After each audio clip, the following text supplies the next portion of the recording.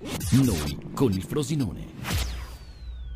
Tantissimi auguri di buone feste di Natale e di buon anno eh, a tutti i tifosi del Frosinone e a tutta la direzione di Lazio, Lazio Radio da Daniele Alfabeto. Noi con il Frosinone.